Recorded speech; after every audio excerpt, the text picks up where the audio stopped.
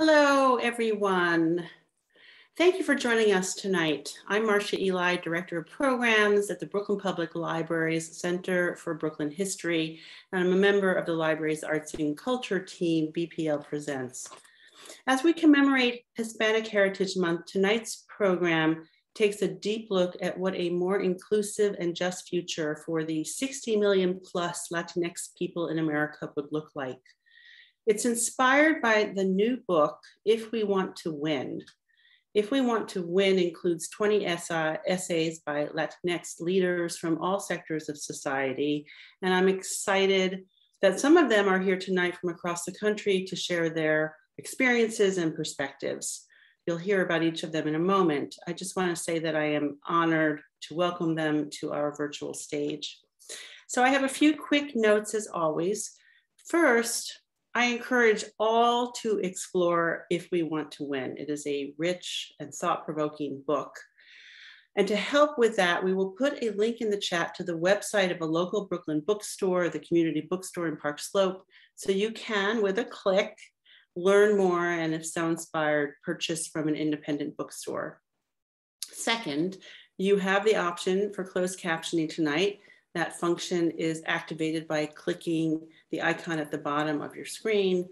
And finally, please join in tonight. Share your questions for our guests. Simply type them into the Q&A box, which is also at the bottom of your screen.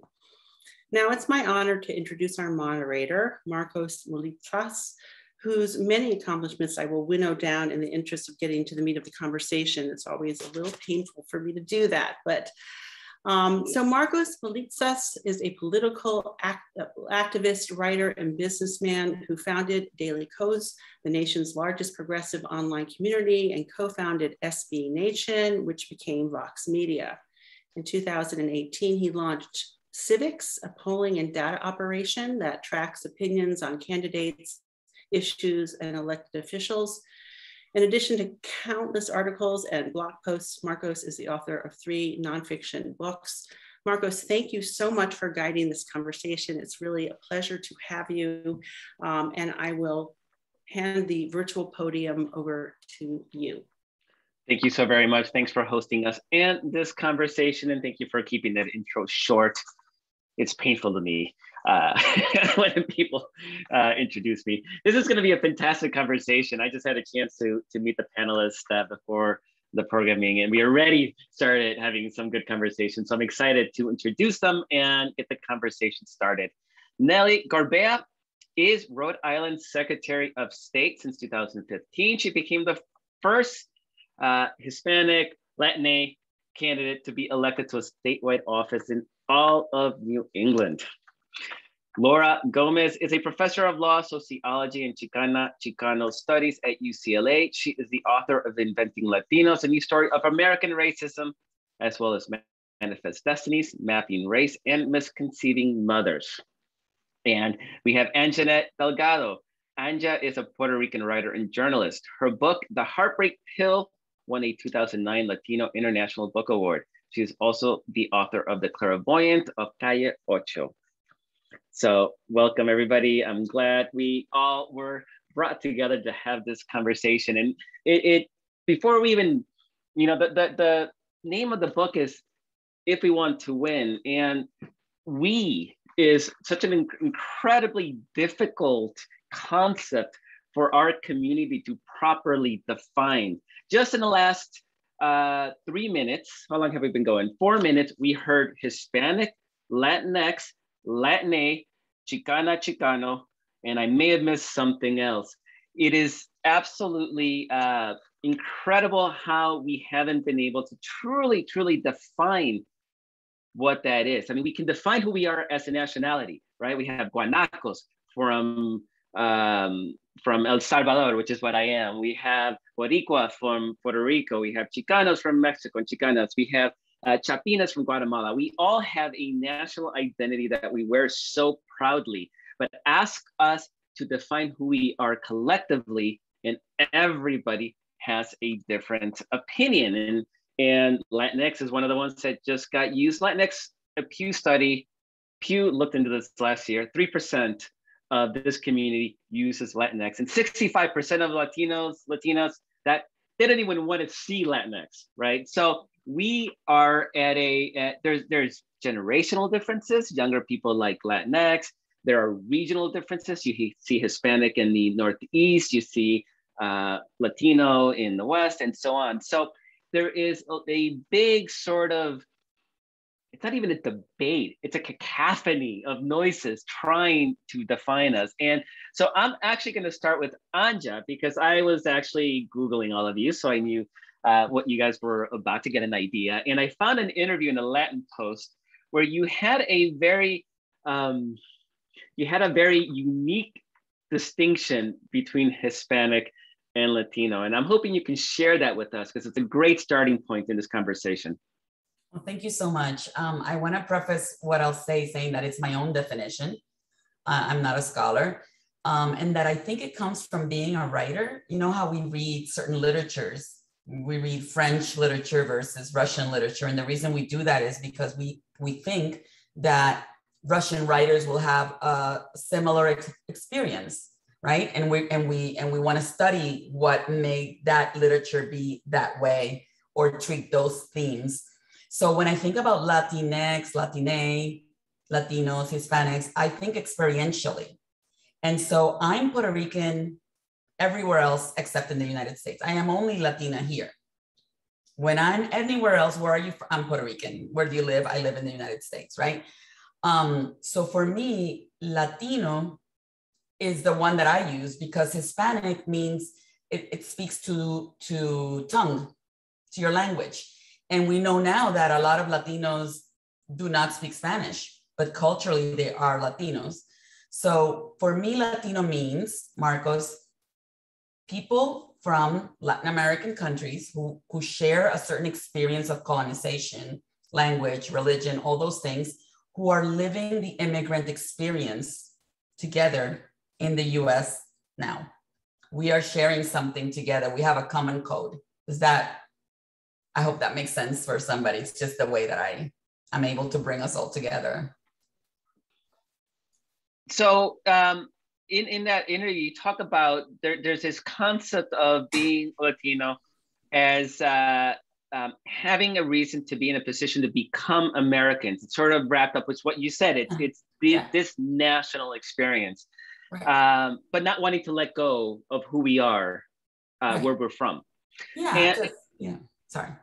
Yeah, no, it's okay. Uh, Nellie, you were the first Hispanic elected in um, a politician in all of New England, and, and we talked earlier before this this this program started about how you you use Hispanic because if you said I'm the first Latino elected or the first Latina elected, people might go, oh well, there was probably another Latino that was elected before her, right?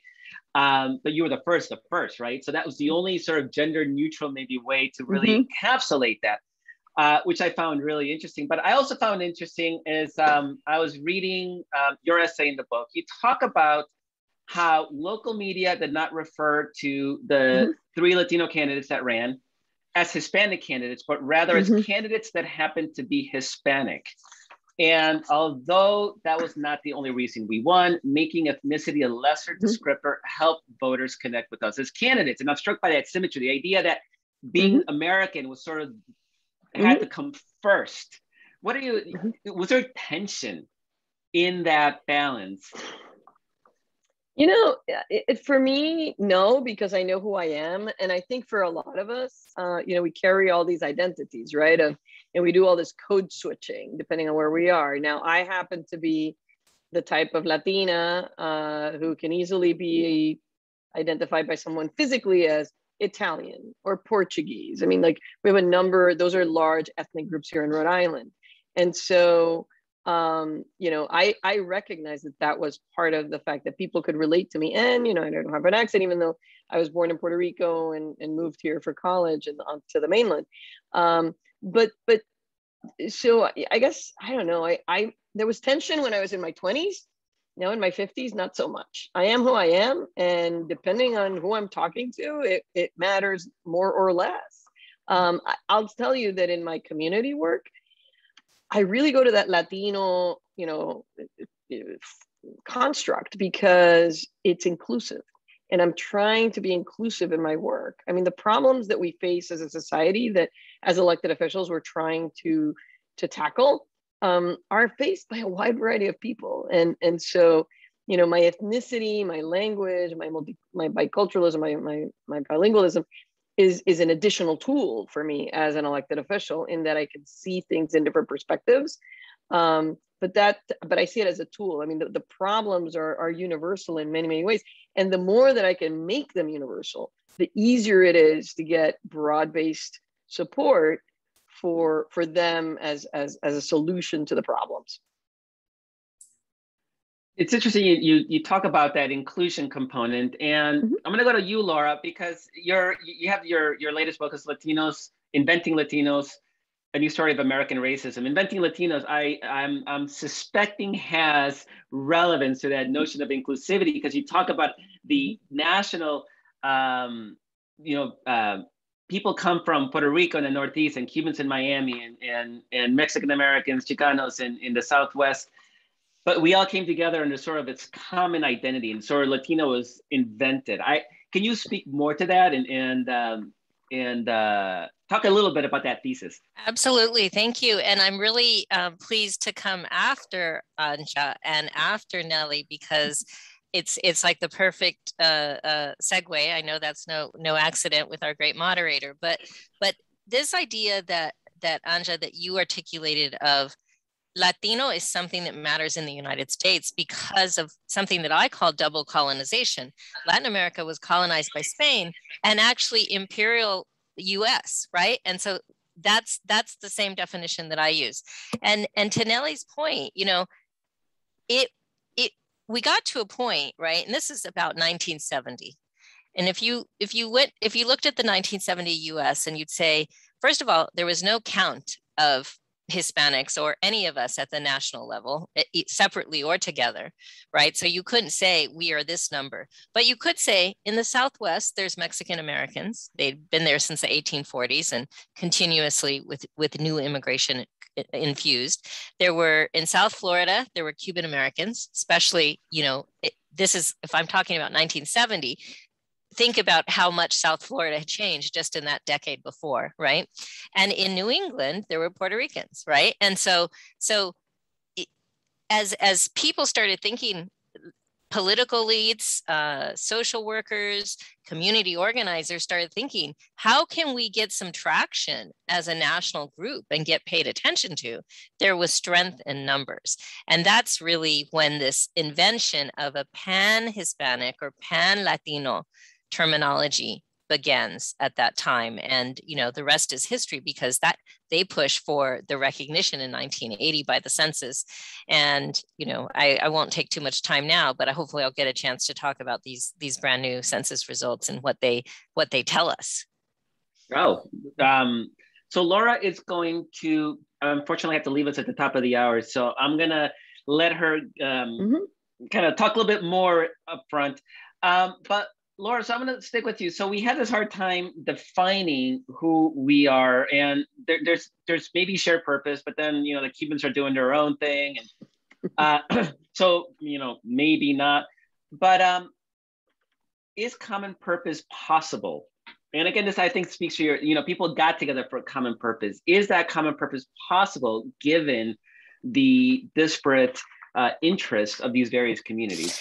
Well, well, you know, let's not let's not pretend that any other racial group is any more united than we are, mm-hmm. right? African Americans, they have their debates about terminology, and you go to a group and you're going to find by age and by political affiliation and and and maybe mm-hmm. educational mm-hmm. level that there are differences and you're going to find different different kinds of politics as well right you know that as well as i do that there was this tremendous backlash among blacks uh, sort of blacks in the black church to the black lives matter movement right and so there's not any i don't think there's mm-hmm. any you know kind of imaginary unity anywhere what there is is that we begin to to see that other people see us as similar mm-hmm.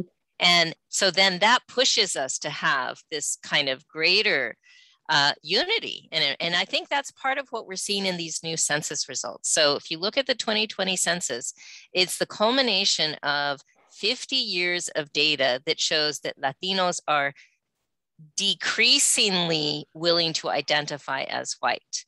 So in this new census, 15 million fewer Latinos identified as white. Mm. Because remember, there's the Latino ethnicity question, and then there's the race question. 15 million people between 2010 and 2020 decided they weren't white who are Latinos, right? And where did they go? Well, some of them went into the other race, some other race, which is always a popular one for Latinos, myself included, because I always said, hey, I don't live this world, this life as a white person. I don't want to claim that I'm American Indian, even though I know I am indigenous. I have African ancestry, but I'm not going to, I don't live as a Black person. I'm not going to say that I'm Black, right? Other, that's a really big segment and growing. But also, those people who identified with with two or more races is hugely um, larger. And it's not that people, it's not that we've changed, it's that the nation is changing. It's just, it's surviving Trump and surviving El Paso, right? And surviving the, the, you know, continuing racism. That brings us, unfortunately, that brings us closer together. Um, and of course, as the data comes becomes more, um, as we get more data, we'll be able to break that down. Okay, in Rhode Island, what are Latinos? How did they break down? It, Cuban Americans, how did they break down? Right, and we've seen some trends in the past that you know I could try to I could predict for you, but we have we don't have all of the breakdowns on that data yet. But that initial data is very interesting, showing us moving away from uh, what I call census white to the other race and to the multiracial um, category. And in fact, other is today the second largest race in the United States because of Latinos. Wow. Well, Laura's uh, comments are literally like I'm hearing her and I'm going through my college years. I, I went to college in the 80s and went from being, you know, Puerto Rican, born and raised in Puerto Rico. So everybody's like you and you arrive on a you know a campus in New Jersey and you're like, what, what do you mean I'm a minority? Like what? Like huh? No, like, and it was like learning. For me, college was that sort of learning process of identity and do I identify as an international person or do I identify as a Latino or Hispanic? In those days, it was really Hispanic, uh, starting to edge into Latino. And, and it was kind of this realization that the rest of the world is going to see us as Hispanic you might as well use it because you know it's like getting into all the divisions was only going to make it harder for us to negotiate with the university to improve the conditions that we were all facing that were really fairly similar no matter whether you came from you know you're a chicano from east la uh, or or you were you know from the mainland or, or puerto rican or, or from the island um, and then i moved to rhode island and similarly we kind of all came to that conclusion and, and, and established this Latino Political Action Committee uh, that we affectionately called Real PAC. And that was incredibly diverse in terms of ethnic groups of, of different uh, countries of origin. And, and I'm proud to say that, that, you know, that led to a number of us going into appointed and elected positions. And today, Rhode Island has 35 Latino, uh, Latina electeds. More than half of them are, are Latinas and they represent nine different countries of origin. And that doesn't just happen. That has to be created in that you create a space of Hispanic identity that respects the differences but comes together. Yeah. And also, um, I think that it ties back to the title of the book that we're discussing, right? If we want to win, we need to understand the context of who we are talking to. So I um, understand what Nellie was explaining, right? In the campaign, this is what worked best in my daily life, I want to be inclusive. And the reality is that when people see a, a, Latino, Hispanic, whatever we want to call it, they know what they're seeing. And, you know, whatever the name, they understand the difference um, and what brings us together. So, I mean, whatever works is my, yeah. my take. Yeah. Um, now, you actually had to campaign and work with these various groups. When you're thinking about public policy, when you're thinking mm-hmm. about government, is there a difference in how you talk to the Puerto Rican community as opposed to the Mexican community, the Salvadoran communities in your state? Um, broadly, no, actually, not not here because, um, You know, I mean, the only issues that, that where that matters is whether you're talking about immigration issues, comprehensive immigration reform, which for everybody else other than Puerto Ricans, it's an issue, um, or or the the status of Puerto Rico and and and and the bills that are being debated in Congress. That's the only time actually that really you sort of dive. I personally dive into the the the the the country of origin differences. Other than that, you know, we're kind of going through Rhode Island with similar experiences, honestly based on more on race, gender, and class, socioeconomic class, and, and educational attainment than than I think you know the country of origin per se. So let me pull Laura back then because she talked about how we, we all came together mm-hmm. as a community because it was easier to advocate for those shared issues. Um, does that in any way sort of suggest that at some point maybe we the those nationalities start erasing um, and we become more homogenized as an American or you know Latino American, supposed to broadly Latin American? Um, does that happen in this in this in this process? I, I don't know that I see that happening. People are very attached. If you ask people the mm-hmm. question, what do you prefer to call yourself? They will choose, Latinos will choose a national origin uh, mm-hmm. name, right? Uh, Chicana or Mexican American for myself before they'll choose Latinx, Latina, Latino, or Hispanic, right? That's mm-hmm. that's, but it's very situational, right? Mm-hmm. So so it depends. Am I sitting in my living room and I'm talking to somebody that I know well, mm-hmm. or am I being interviewed uh, as I leave a polling place? Right? Mm-hmm. There are all these different contexts that where again, it, part of it is we're always watching with one eye on how are they seeing us and we know who the they is and they know who the we are i agree with that you know um, you know there's some very interesting research so so if you think about the 62 million latinos in the united states as of probably an undercount as of the 2020 census 65% of them are mexican american 65% mm-hmm. So depending on where you are, if no matter what you are, you guys are going to be taken for Mexican American, mm-hmm. right? Now, um, obviously, if you're in Florida, that's going to be a different dynamic. But even in Florida, look at what the data says. And Anja, you are living there, so you can speak to this more authoritatively. But Cuban Americans are no longer the the majority of the Latino population in the state of Florida. That's right. right? For for years now, for a couple of years now. And when the and with the influx of post Maria Puerto Ricans, mm-hmm. Florida is now threatening to become the number one uh, state for Puerto Ricans, and second would be New York, which I don't know how long that would have taken to to to happen, mm-hmm. right? If if Maria hadn't happened, yeah, mm-hmm. absolutely. But you know, I also want to add something. Like think back to 9/11. I know a lot of Latinos who were surprised after 9-11 to, to discover how much they loved this country and how much they loved their life here and how much of that had seeped into their hearts. Um, and then comes the question, right, of, of guilt or, and I resolved it a long time ago by knowing I am 100% Puerto Rican and I'm 100% American. I respect mm-hmm. the place where I am and I try to contribute as much as I can to the place where I live. Mm-hmm. I respect it. I respect its laws, and I try to give back to it. Um, and the other 100% of me is um, is my culture, my roots. And for me, those roots are a gift to this country. I, I'm giving it. I'm contributing them. I, I totally agree with you, uh, Laura. And and what what I find interesting is, you know, um, as our communities continue to inhabit spaces right together, um, you know, I wondered my, my, own children, for example, whether they would identify as Puerto Rican, and you know, and the truth of the matter is, is that it depends on sort of the influx of kids and, and people around around you. Um, so I think that that the fact that we have had such a, a, a, rapid growth of the Latino population throughout the U.S. and I'm talking, I mean, people are always surprised that it's Rhode Island, right? Wait, there's Puerto Ricans, there's there's Latinos in in Rhode Island, yeah, there are 18% as of the last census. And we worked really hard because we actually, Latinos in Rhode Island helped save the second congressional district in Rhode Island now for three censuses in a row.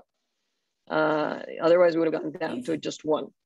So, uh, but yeah, it, it, it's it's a it, and, and people get stuck on the terminology, but I don't think it's worth it. You know, you are who you are and, and you feel different in different moments and that's fine. We're we're complex individuals and to be stereotyped by language by, by linguistic terms is an unfortunate uh, situation. One thing i do want to and i you know i apologize because i have to i have to say goodbye early but i do want to markos if i may just jump back in to say I, I don't want to gloss over the differences that there are as well. And I know that my colleagues on the panel will agree with me, right? And in particular, I think it's it's wonderful that we are now talking about Afro Latinos and the way mm-hmm. in the way that we are, which wasn't the case um, I too went to college in the 80s, right? And that wasn't the case. We didn't have that awareness. We didn't have almost that that language, and now it's really a priority. And I think similarly with in in in California, I'm in Los Angeles. Indigenous Latinos for whom Spanish is their second language, mm-hmm. right? They're they're facing some of the deepest oppression here, and we haven't we haven't found all the ways that we need to bring those folks in and to really make sure that we're um, that we're serving everyone. Um, but uh, I think that this book goes a long way toward just putting the spotlight where it needs to be and encouraging us to have those conversations. So uh, we're about to lose Laura, so I want to ask this question. Start with her, and then you you know you have to say goodbye. Um, during the 2020 campaign cycle, when the media talked about Joe Biden, they didn't say Joe Biden, the white guy, um, or any sort of descriptors. Maybe Catholicism came up in the context of that he was a pro-choice Catholic and the bishops wanted to take away his communion, but it, it wasn't sort of he wasn't defined by his race and his maleness. Uh, com- contrast that to Kamala Harris, right? Which was, you always mentioned she was a woman, always mentioned she was uh, black, always mentioned that she was South Asian Indian, and so I, you know, when you talk about colonization and double colonization and, and sort of the shared identity, do you see in America where Latinos similarly become the, the fact that they're Latino is sort of an asterisk, kind of kind of like maybe it was um, in the Rhode Island Secretary of State race, you know, with Nellie and, and the other uh, Latinos running in Rhode Island, where it wasn't the primary focus or a focus, just sort of background information. If you were to Google it's mm-hmm. a very interesting question. So I'll, I'll take just a couple of minutes to give you my perspective. And, and I'm going to uh, do it by talking about two twins, one of whom ran for president, one of whom is in, in Congress and speaking out um, these days. And, and, you know, I, I think that it, there are a lot of, there's a lot of, uh, you know, uh, what is it? Monday morning quarterbacking we can do about the Castro campaign. Um, but I think that one of the reasons that that didn't get the kind of traction that it might have is that being Latino and being Mexican American and brown skinned didn't, it wasn't intelligible in the way that some other stories were. Now, combine that, and I want to just kind of shine a light on some of his brother's words recently because he's talking about the fact that the media establishment and the mm-hmm. uh, publishing establishment doesn't know who we are we're not on the agenda and i think that mm-hmm. that's still true so i think maybe markos maybe there is that very long term i don't know if it's going to happen in my lifetime but but but because there's there's really i think there's a long way to go on that and i apologize that i have to sign off but thank you thanks laura yeah. uh, Nellie, I'm gonna I'm gonna take it to you. It was clear that there was a reason that people talked up your the fact that you were Latina. I mean, you you were you you shattered a glass ceiling. A real it was a real mm-hmm. accomplishment. So of course you're gonna you're gonna you're gonna mention that. Do you see a world where that becomes less and less of a factor? Say you you, oh, know you have a long. Absolutely, absolutely, and and and it's, it's very much to how our our uh, vice president, you know, came up with that that term. You know, I, I, may be the first, but I won't be the last. Uh, in my time in office, in the seven years, it was my second term as Secretary of State. Uh, I, you know, we've gone from 12 Latino electeds, and I'm talking from school committee all the way to my position, uh, to 35, from 12 to 35 uh, in a span of seven years. And I see the next election where actually I'm going to be on the ballot in 22 as a candidate for governor there's going to be a, an Afro-Latina who's currently been the appointed lieutenant governor. She's gonna run for election. Uh, we have a candidate uh, who's Colombiano um, uh, with strong ties to the Dominican community as well, who's running for mayor of Providence, Gonzalo Cuervo. So, and, and, and we have a Puerto Rican mayor of Central Falls. And so you're starting to really see a transformation in the political sector in Rhode Island to embrace the fact that we're here and, and we're willing to do the work and, and we wanna represent not just Latinos. I mean, I cringed the other day because somebody, there was an art, uh, there was an op-ed, uh, an editorial that described me, uh, that the first descriptor was that I, Nellie Gorbea, uh, Secretary of State, champion of Hispanic causes. And I'm like, uh, really? That's where you go? I mean, no, like I'm actually uh, a Secretary of State that has transformed the way elections run in Rhode Island to make it uh, more secure and more accessible to vote. And we had a record turnout during the pandemic where everybody was happy about how they voted in terms of the mechanics of voting. Like, you know, I've made it more, I've made it simpler for businesses to start and thrive throughout the state. I, I go and buy uh, something at a store and, and the store owners frequently thank me and, and say they love my website. And I never thought I'd hear business people say they love government. And these are not people in the Latino community. I mean, these are people throughout the state. So so I really struggle with this concept of, you know, like getting sort of pigeonholed, like basically getting pigeonholed, because I do think that it separates you in a way that doesn't help when you are trying to be, you know, part of the leadership class of, of, of the country, of, of, of your state.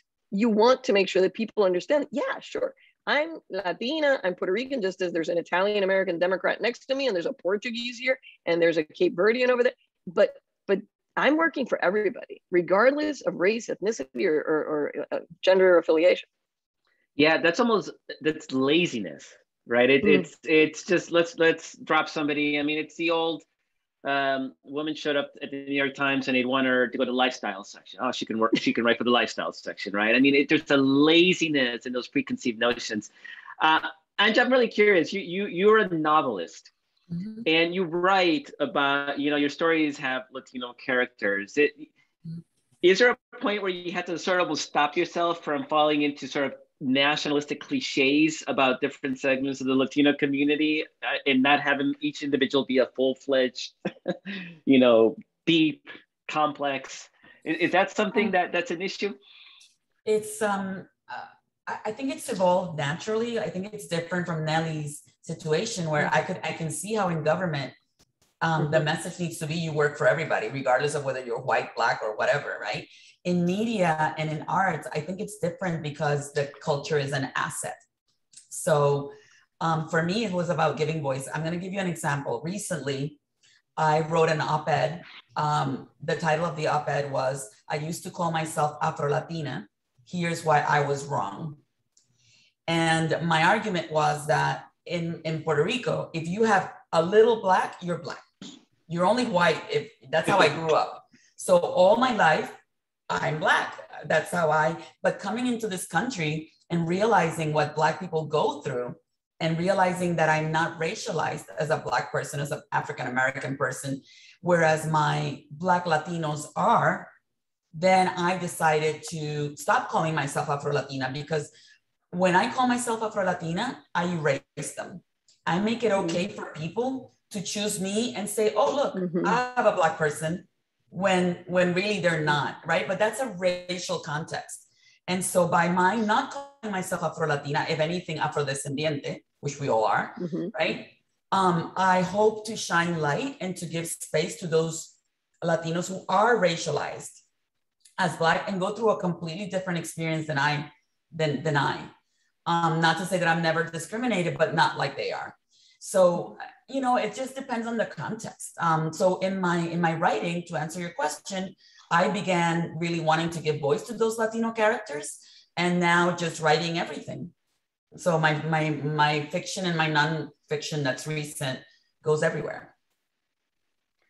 So the title of the book is "If We Want to Win," and all three of us have chapters um, that discuss certain aspect of, of, of winning, right? I talk about the role of anti-Latino uh, bigotry in our nation's politics, and Donald Trump obviously exemplifies that.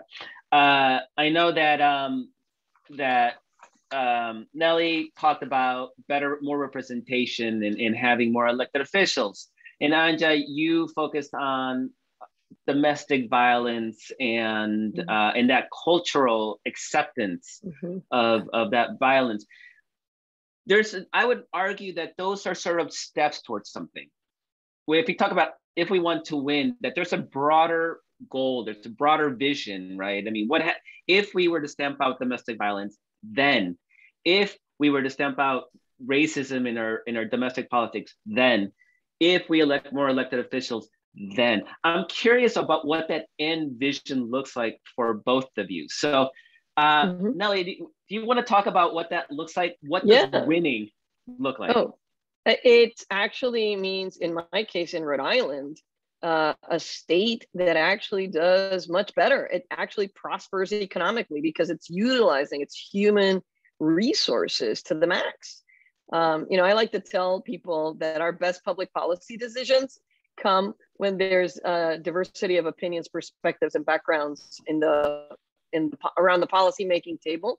And it, yeah, it takes longer because not everybody thinks the same, sees things the same way. But but your solution from a public policy public sector perspective is a much stronger one and and, and one that has deeper roots. Um, and so to me what it means to win is is getting to that better place where we do see opportunities. I mean i look at you know people in emerging markets and in the black and brown communities that really don't have access to uh, some of the government programs simply because of the barriers that we've put one of the first things I did when I came in was to put all the business forms in plain English. And I basically said, stop with the legalese. Nobody cares. And and and you know what? When you put it in plain English, you can actually translate it really fast, really easily into plain Spanish. And even Google Translate it can, can uh, Google Translate can even get it right. And and that means that you make government accessible instead of a barrier and a series of hoops. And that person is going to go on and start their business and, and thrive. Uh, so, or at least not have government be the barrier to making them thrive. You know, whether they, they, they succeed or not depends on their business uh, acumen and, and, and their experience. But that to me is the the win. It's, it's a societal win uh, that's that really utilizes all of our talents. Um, so I, I was happy to to participate in the book because I see the book if we want to win as a collection of views and solutions, right? So for me, what the book says is before we can solve the problem, before we can win, we need to identify the real problems. In the case of my essay, what I'm espousing is that yes, we can have more laws against domestic violence and gender violence. We can have all kinds of things, but if we don't, if we if we allow our governments to keep putting out the these messages, these these patriarchal messages, we continue making the problem possible not just in our mm-hmm. community where where there's mm-hmm. there's evidence that there's more of but in everything else so for me that's how we win by identifying by going beyond what we have thought the problem is and and and finding those places that will have the most impact a little yeah, bit like me, Nellie's uh, translation mm-hmm. Mm-hmm. yeah yeah yeah nobody's impressed with legalese yeah yeah nobody is uh, for me it's it's when you look at disparate um, effects on on society and different people, right? Nobody mm-hmm. think nobody says Italian Americans have lower survival, you know, um, survival rates or economic disparity than German Americans and Irish Americans, right? I mean, there's sort of a uniformity. Yeah, although in, at one time there were. Yeah. So, but they've been able to even out, and so that to me is the win, right? That when we can get to that. Right. So I would love a, a I would love a world where yeah we we could look mm-hmm. across the board and you know not just obviously our community but also you know with the black community mm-hmm. everybody and you're not seeing and men and women and mm-hmm. and uh, you're not seeing those disparities because of somebody's um, innate characteristic that that would be what that victory looks like. It's obviously easier to to do that if you look the same mm-hmm. to an to an outsider, right? So it's a lot harder to dis- discriminate against a German American if you don't know if she's Irish or German. Um, I'm just curious. I mean, we, you know, with the Black uh, community, Asians, and us, it's easy to other us. And that was a Mhm. big part of, of my essay was just how wedded an entire segment of the country is to othering us specifically, not not Asians. They have their own the the model minority myth, which is its own you know special kind of racism. Uh, the black community obviously systemic and and given the roots of it are you know very much rooted in racism. But right now we're we're seeing this sort of the invaders that are coming in and you know we're taking jobs and we're we're engaging in human trafficking and and it's a very ugly othering. How do we ever get beyond that? Or do we just wait for those people to sort of die off, which is what the census just told us? And I wish Laura was Mm. here to talk about that. But the census showed a dramatic decline in white only um, Americans to the tune of about 1% a year. Yeah, no. So I I think so. I hope so. I'm a you know I'm a perpetual optimist. Otherwise, I couldn't be an elected official. Um, you know, it's interesting. When I first arrived in uh, Rhode Island 30 years ago, and you're out, you know, trying to get to know this new place that you're living in, I went to a place called the Museum of Work and Culture, and they have um, a whole exhibit on French Canadians who came to the city of Woonsocket or Woonsocket, as we like to call it, and and and and we're there. And in the 50s, if you walk the streets of Woonsocket, you would hear French being spoken constantly, just like you can hear Spanish in South Providence today. And and and there were this this whole exhibit on newspaper articles depicting those lazy, good for nothing French Canadians who all they want to do is live in their little hovels of Woonsocket and have babies and not work and blah, blah, blah, and not speak English. And I'm reading these articles and going like, oh my gosh, like you could like do a Mad Lib and like replace, you know, the ethnicity, you know, with, you know, Hispanics today or whatever. And and and today, you know, French Canadians have been able to be a part of the sort of fabric, although there still are cultural heritage type activities in Woonsocket. You don't hear French anymore on the street. It's actually largely now the largest minority there right now is Puerto Rican. Um, so I, you know, I have to believe that that you know, even with us, I mean, the challenge is is one of race to me more than even ethnicity, because this country has really had a very hard time coming to terms with issues of, of racial discrimination. Yeah, um, absolutely. Um, in that sort of broader vision, though, when when you look at um, sort of the evening of outcomes in the white community, there's also a sort of loss in that national identity, right? I mean, somebody may be Italian American, but it's, I mean, I guess there's some some areas of the country. I get New England's a big one where people still wave their Irish and their Oh. Italian flags. You don't see that in a lot of the rest of the country, and would we even want in America? Is there a trade-off there to to you're so integrated that you lose me? I mean, here I am wearing a shirt that I bought in the mountains of El Salvador in a indigo producing region. They've been doing this indigo since Mayan times with a Mayan logo. I love being Salvadoran. And I don't know if I would make a trade if for if we can to have pure sort of equality of outcome, but lose who I am from a national standpoint. Um, is that a trade you would make? No, but and I, I think that's a false sort of thing that you have to. I mean, I, Yeah, I mean that's part of what I'm. It, it's it's um, no, I, I absolutely refuse to do that. Now, uh, what I want people to recognize is that yes, I'm Puerto Rican, but I'm also a woman. I'm also a mom, um, and I happen to be an elected official, and that's my job right now. And and and so you ethnicity to me is part of you know who you are, but it's not the only thing. And so you know. I, my first year in office, um, we have this thing called Reading Week where you go and read books to kids in schools. And the mom and me, when I first heard about it, I was like, really? Seriously? We're going to interrupt the school day for like politicians to go in and do this and do a photo op. I, but I did it because everybody else was doing it. And I came in and I showed up and and it turns out I was actually in, in Woonsocket. And uh, I walk into this like, I don't know, fourth grade class and I identify myself and know, I'm from Puerto Rico originally. And you could see these kids like puff up. Now, I don't think of myself as the Puerto Rican Secretary of State. I think of myself as Nellie Gorbea, Secretary of State of Rhode Island, and who happens to be Puerto Rican. But to them, to see somebody who came from those same roots be in those positions made it really a, a, a, transformative experience in a way that I really didn't appreciate because I grew up in Puerto Rico and everybody was Puerto Rican around me. So so there's a value to keeping to on, you know, latching on still to your identity from the perspective of, of helping others see themselves as uh, as as these other positions in our society. And so I hope that we don't lose it anytime soon, and, and I don't think we will. Anja, Boricuas are never giving up their identity, are they? Oh no, never. it's been never. 500 but, years of colonial rule and still at it. So. In fact, I think it's gotten stronger precisely because we don't have a national identity. You know, people grow up in Puerto Rico asking us, "Am I American? Am I Puerto Rican? Wait a minute, I, am a territory." Most people don't know that I'm a citizen, um, and that makes us uh, cling even more to the cultural. There's a cultural nation without borders. I feel um, where you have more Puerto Ricans outside of Puerto Rico than you have inside.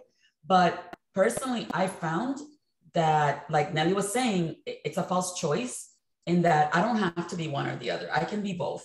I can love here, the here and the now, and be a mom and be have dog, be a dog owner, and love reggae and all those other things, and also have my roots to contribute. I think when we see it as a contribution, um, it, yeah. we don't have to choose, I think. It's true. And besides, I, I want to continue to go to Salvadoran bakeries to get you know, like pupusas. So. Oh my God, yes. I want to I want a whole bedspread with that color.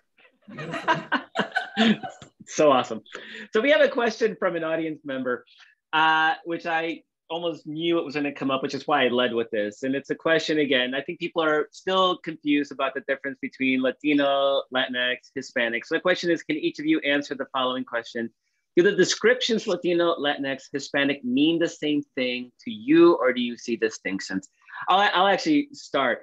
Um, each one of those words actually has a real emotional reaction in me. And I can see it even within um, Hispanic, I think is, is an older term. It's a much broader term. Uh, the activist in me almost sees sees it as an accommodationist term. It's like it's a mm. it's an invention of the U.S. Census, right? As opposed to uh, too bad Laura's not here to talk about that, but um, it's the same as Mexican American versus Chicano Chicana, right? Mm. One of them has a more aggressive edge, and one of them is a more accommodationist, more like you know we're we're good, we're Mexican American. Let's let's not ruffle feathers.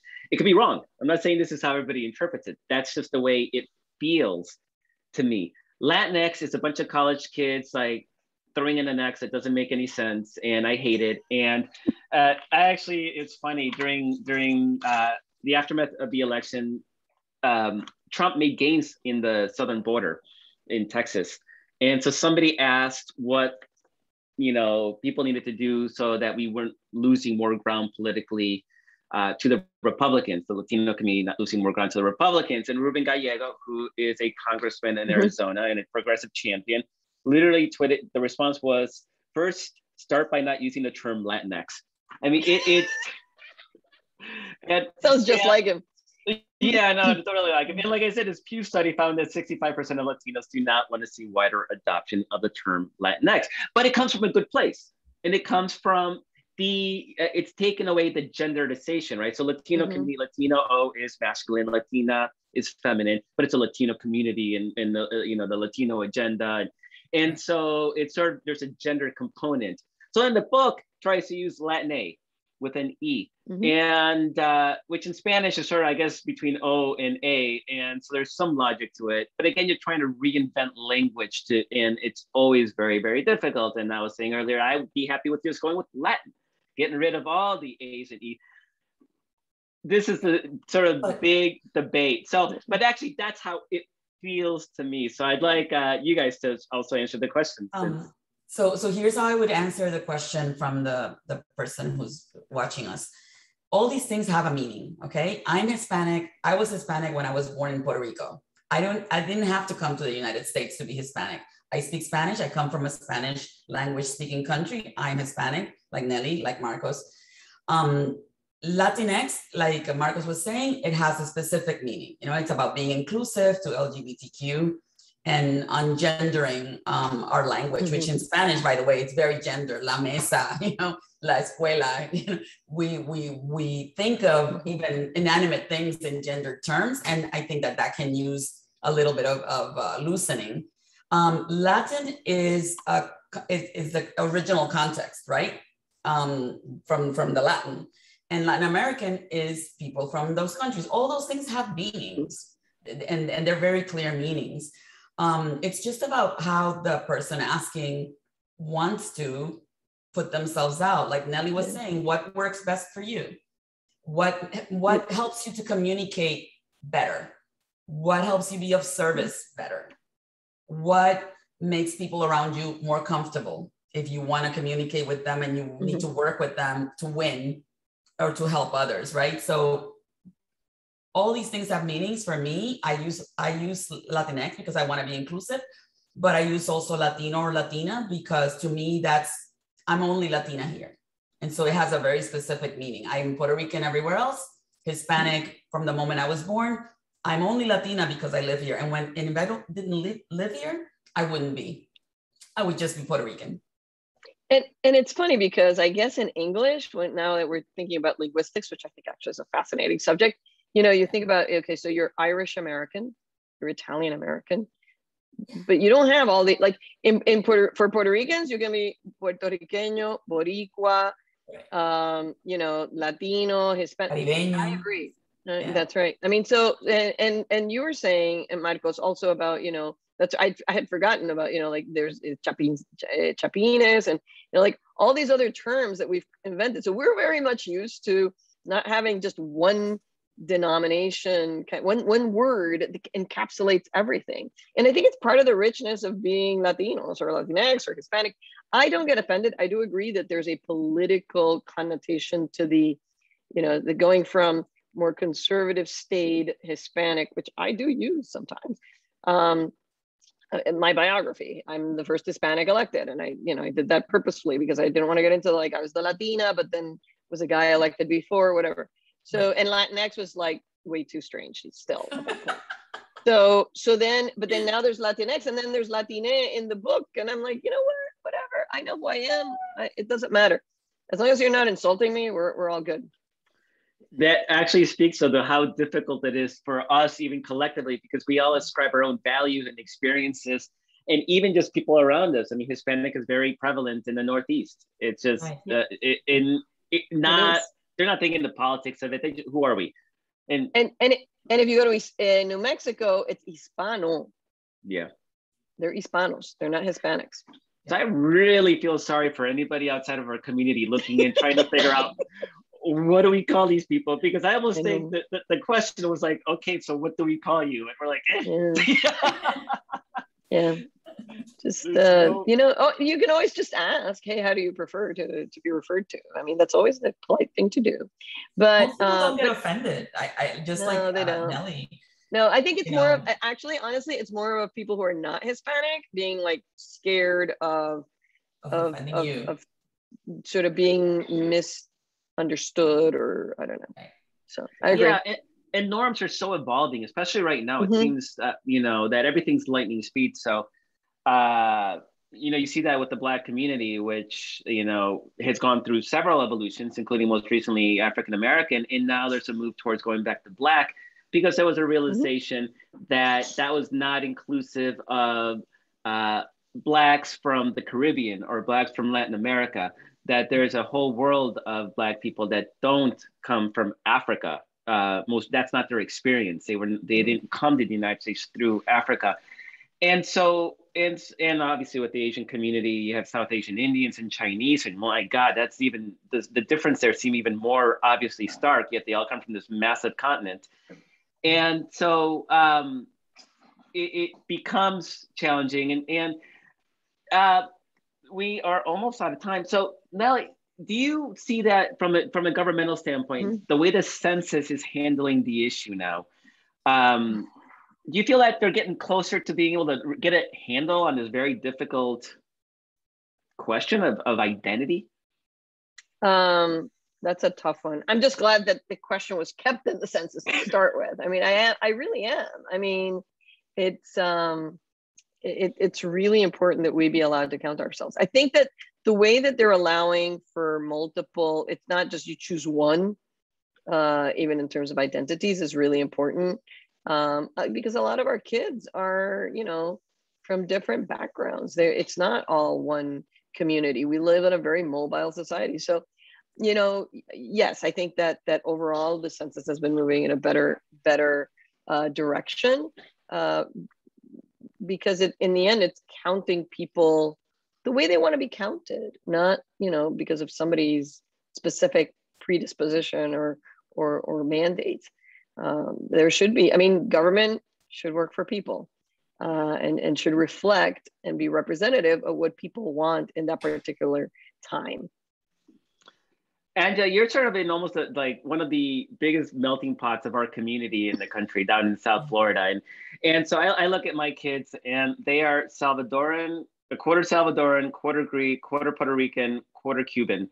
And I don't even know what they're going to make of themselves when they start having that, you know, who they are, what that identity is. You obviously, you write about this community, you are part of that community. How are you seeing people handle that, that, that you know, it's mm-hmm. not so simple anymore. It's not just I'm Puerto Rican.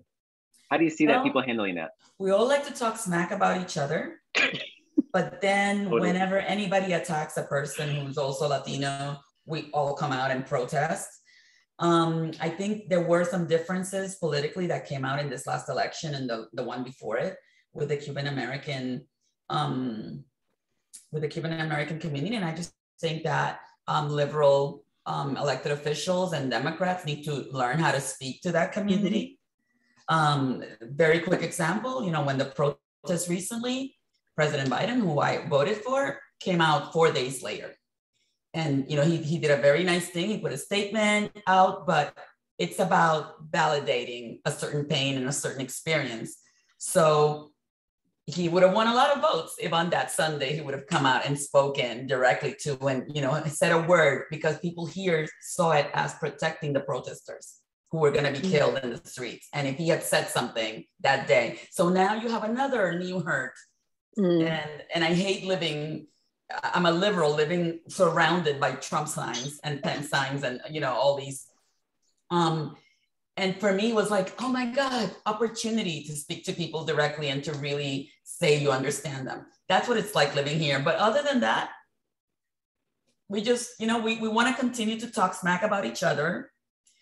You know chileans want to say that their pisco is better than the peruvian one yeah. um, god forbid somebody would tell me that mangú is better than mofongo because we will have a problem you know normal life yeah So uh, it's I think it's time to wrap up. So Nellie, do you have any final thoughts you'd like to leave um, the audience with?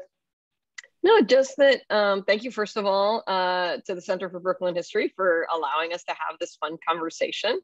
Uh, I always learn something, and I always think uh, about some leave thinking something differently when I have these conversations with with my own uh, community members, uh, and and and just that you know embrace it. We're, we're, we're here. It's, it's try not to be scared of engaging people in what should be civil conversations about differences. We have to come to a place where we can do that and ask and and and if you hurt someone ask for forgiveness and move on um, those are really important things that we need to uh, cultivate in our own communities uh, regardless of where we're from i'm just saying for you um, I, everything that she said, but I would also add, and as a as a former journalist, read and not just don't just believe the first thing you read. Even if I tell you, go and find two other sources, credible sources. Let's be educated about where we get our information from and learn to identify credible information. And then once we're informed, let's listen. And I think if we do those two things, a lot of good will happen and a lot of this whole polarization and, and all this stuff will will go away on its own or will minimize on its own so yeah uh, and, and, for me it's sort of building on that the idea of don't be afraid to be inquisitive um, language is in flux identity is in flux uh, national identity racial identity sexual identity all of these things are being examined. And there's a whole new generation of kids coming in and they're shaking things up their own way right? They're they're they're throwing out the playbook. They don't care what what tradition looks like. They're going to do it their own way. And so it's it's mm-hmm. it's legitimately confusing and it's okay to be confused. It's okay to to sometimes roll with it um just like i also think it's okay for me to be like yeah that gen x stuff or not gen x um uh latinx stuff really not working for me but it's part of the debate discussion. There's nothing monolithic about it. Do we mm-hmm. really want to be monolithic about it? There's a lot of us. We all have our own ideas, and it's okay to roll with it. It actually, I think, adds spice and excitement, mm-hmm. and and makes it all a much more interesting world than if than when I look at these 50 um, sort of posters, everybody with their you know with their suitcase going to work, and they all wearing the same suit, and I guess that that that to me is horrifying. Like I love the world that we live in. It's different, it's strange, it's odd, it's confusing, sometimes it's infuriating, but it's lovely. And so again, thank you for joining this panel. I'm glad I'm glad the publisher got us all together. This was absolutely fantastic. Marcia, thank you so much for hosting us. You guys thank have been you. wonderful. What a fantastic conversation. What a what a what a treat to listen to you all talking. Thank you all so much for this um, identity, equality, confusion. I mean, you hit all the points, it's it was wonderful. I want to um, I want to thank you from the bottom of my heart. I want to tell everybody that this has been recorded um, and you can watch it on the Center for Brooklyn History YouTube channel tomorrow. Um, the book again is If We Want to Win. I hope that you will um, see in the in the in the chat again the link to our local bookstore where you can get it.